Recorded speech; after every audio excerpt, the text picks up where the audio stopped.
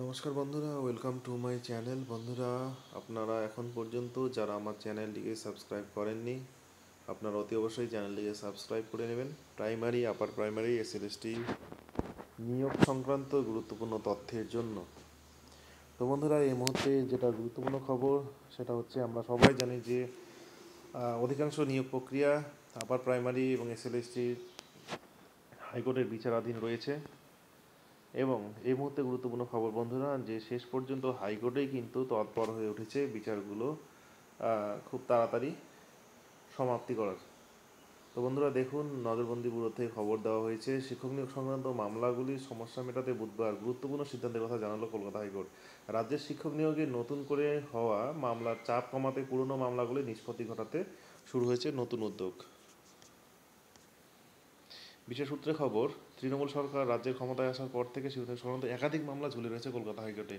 বিচারপতির অভাবে এবং রাজ্য সরকারের নিয়োগের প্রতি অনীহার কারণে দীর্ঘ হচ্ছে মামলার পাহাড়। ফলে গুরুত্বপূর্ণ মামলাগুলি নিষ্পত্তি করতে আদালতের অনেক সময় লাগছে। আর তার ফলে চূড়ান্ত সমস্যায় পড়ছেন এই রাজ্যের হবু শিক্ষকরা। রাজ্যের কয়েক হাজার চাকরি প্রার্থীর ভবিষ্যতের কথা মাথায় রেখে বুধবার আদালতের তরফে জানিয়ে দেওয়া হয় যে দু সালের টেট সংক্রান্ত আর কোনো নতুন মামলা গ্রহণ করা হবে না। এর পাশাপাশি এদিন আদালতের তরফে জানিয়ে দেওয়া হয়, আগামী মার্চের মধ্যেই টেট সংক্রান্ত মামলাগুলি নিষ্পত্তি করার জন্য বিশেষ উদ্যোগ নেবে আদালত। কারণ, হিসাবে বলে মার্চের মধ্যেই নতুন কিছু বিচারপতি কলকাতা হাইকোর্টে নিযুক্ত হতে চলেছেন। ফলে নতুন বিচারপতিরা তাদের দায়িত্ব বুঝে নেওয়ার পর থেকে এই টেট এবং শিক্ষক সংক্রান্ত সমস্ত মামলা শুনানি ধারাবাহিকভাবে চলবে। তো বন্ধুরা, এই হচ্ছে গুরুত্বপূর্ণ খবর, টেট সংক্রান্ত, প্রকৃতপক্ষে শিক্ষক নিয়োগ সংক্রান্ত খবর।